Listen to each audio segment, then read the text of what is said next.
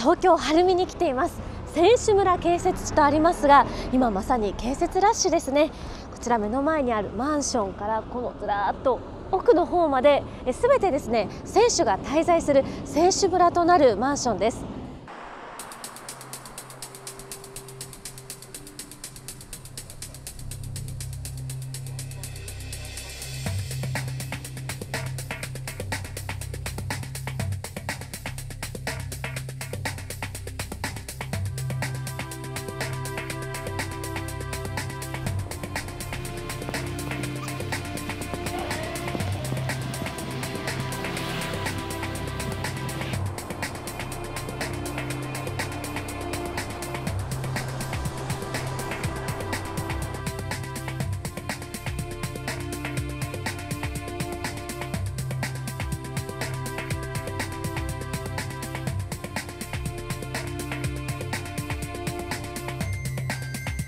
勝どき駅の混雑解消、えー、それから、まあ、今後そのあの本区においてもその開発が、えー、かなり計画されてございます一日でも早く早期着工早期実現というものを、えー、望んでいます。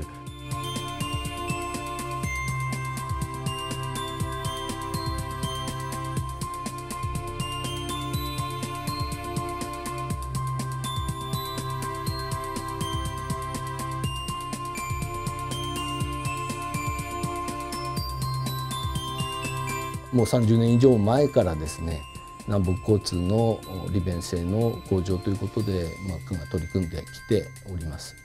東京都のご答弁の中では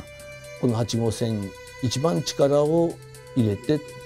取り上げあの取り組んできたという文字通りですね早期に、まあ、これが実現できるようにやはり期待をしています。